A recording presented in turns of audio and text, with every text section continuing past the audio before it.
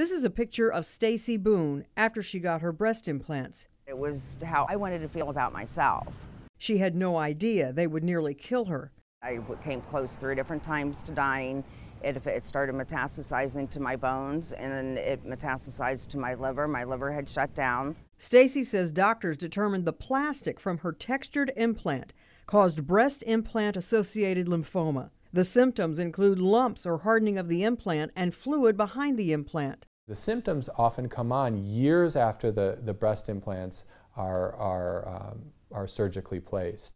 Moffitt Cancer Center oncologist Frederick Locke says recent FDA warnings show there have been 359 breast implant associated lymphoma cases reported.